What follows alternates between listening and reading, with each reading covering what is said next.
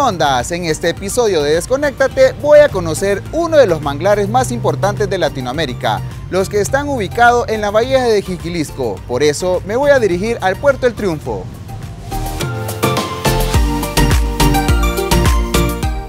Antes de iniciar el viaje, te voy a recomendar abastecer tu vehículo con suficiente combustible, además de llevar contigo un bloqueador solar, repelente para mosquitos y mucha bebida hidratante.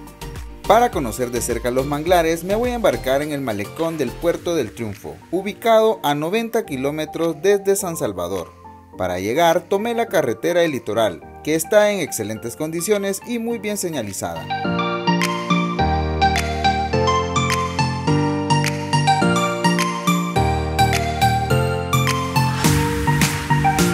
Inicié mi recorrido con mucha emoción por conocer los manglares de la bahía de Jiquilisco, los rompeolas naturales, uno de los más grandes y más importantes de Latinoamérica. La bahía de Jiquilisco forma parte de cinco municipios, Jiquilisco, Puerto del Triunfo, San Dionisio, Concepción Batres y Jucuarán. Uno de los primeros manglares que podemos observar en el tour es Isla La Tortuga. El primer manglar que podemos observar en el recorrido es el manglar Isla Tortuga, llamado así por su forma. Esta isla no está habitada por el ser humano.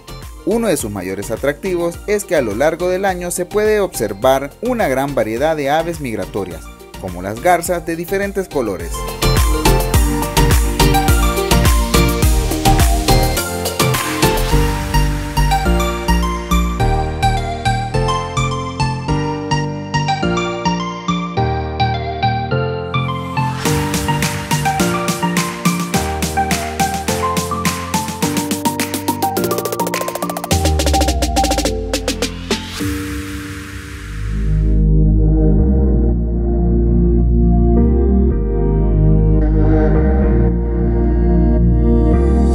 Segundo manglar que visité fue Isla Pajarito, llamado así porque en la noche miles de pájaros llegan a dormir al manglar.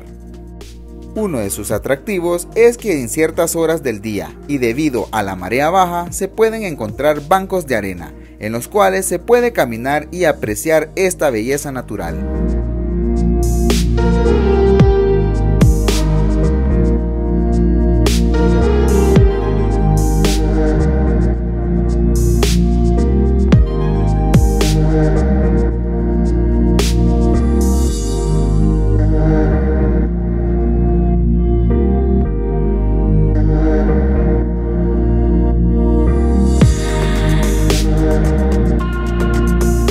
Una de las paradas que le puedes decir al señor lanchero que haga es en el manglar Tular, para comerte unos coctelitos de concha donde la niatita, que tiene su propio cultivo de curiles. La siguiente parada fue el merendero de El Tular, un pequeño rancho en medio de un manglar en el que se puede disfrutar de cócteles de concha y cascos de burro, los cuales se cultivan en el mismo manglar.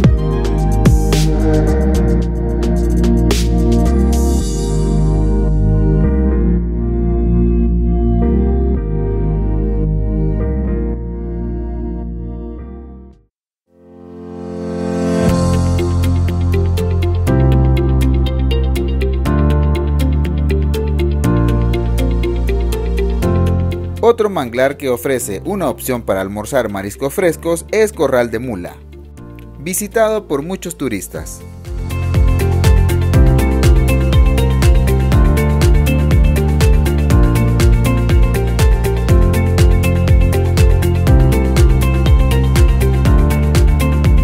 Quiero terminar este video haciendo un llamado a cuidar nuestro medio ambiente, conocer los manglares y escuchar la importancia que estos tienen para la biodiversidad y el funcionamiento del ecosistema me hizo reflexionar el daño que le hacemos al arrojar la basura a la calle, debido que esta va a parar a los ríos y todo termina en esta zona. Cuidemos del medio ambiente y no te pido que limpies, pero sí que no ensucies.